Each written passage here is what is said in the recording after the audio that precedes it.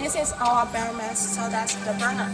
And first, it includes three types. It is biomass burner and a screw conveyor and a fuel bin. First, let's check it. It is a cut. From this, we can see the uh, bare bears in the furnace. And this is the igniter, and it is at discharge hole.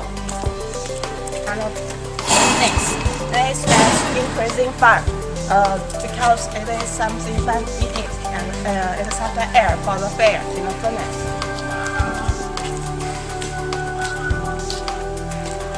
We can see this. Ash discharge hole. And this is the uh, most burner mouse. From this, the, the gas out. Uh, it is the air brake and include refractory.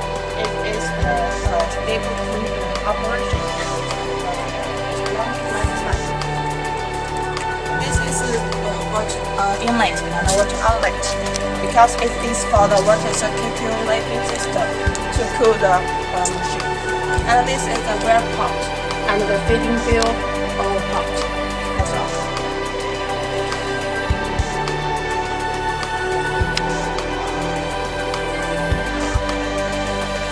Shangqiu Haiqi Machinery Equipment Company Limited is the first professional organization which is engaged in energy-saving technology development and related product development in China. The main products include the biomass series burner using domestic leading technology. Haiqi biomass burner uses reasonable compact design, simple structure, and have got weld material, rice husk, wood pellet, peanut shell pellet, bamboo pellet, and so forth. Suitable run material less than 3 mm sawdust and moisture is less than 15%. It has got the certifications of CE, EV, TUC, SGS, and has been exported to many countries and earned a great reputation around the market.